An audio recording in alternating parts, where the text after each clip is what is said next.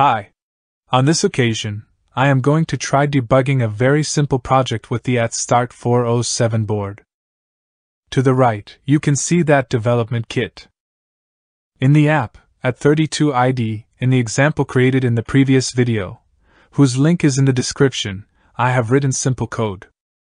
What basically happens is that it reads the logical state of the user button, and if that terminal is at a logical 1, the terminal that manages the LED 3 changes to logical 0.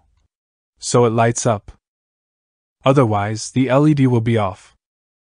The first thing I do is compile the project, and when I do so, there are no errors. Also, remember to ensure that any changes made have been saved before the compilation.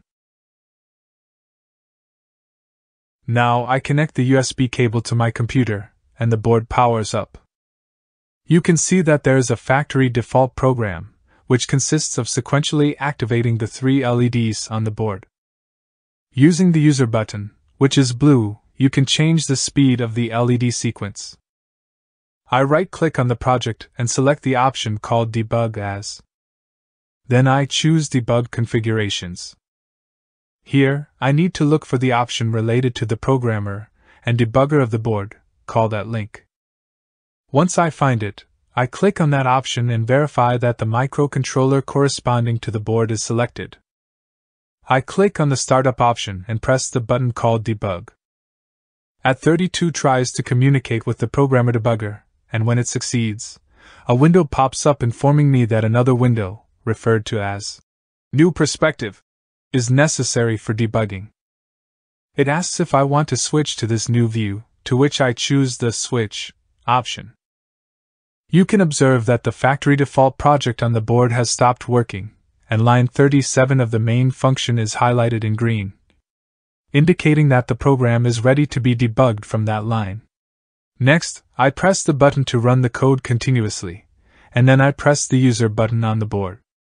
You can see that the LED diode lights up, which means the code I wrote is working correctly. Now I press the pause button, and where the code stops is highlighted in green. In this case, it's at the if statement that checks the state of the switch. I set a breakpoint at line 110, where the LED diode is activated. I press F7 to step through the code, and now I press the button again for continuous execution of the code. I press the user switch on the board, and you can see how the program pauses where I set the breakpoint. Once again, I run the project continuously, and press the user button on the board. Again, the program pauses at the breakpoint.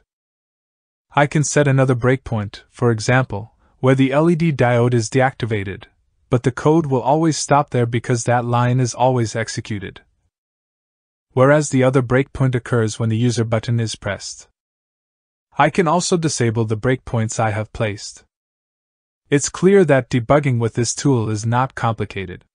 Thank you very much for watching the video, and see you in the next tutorial.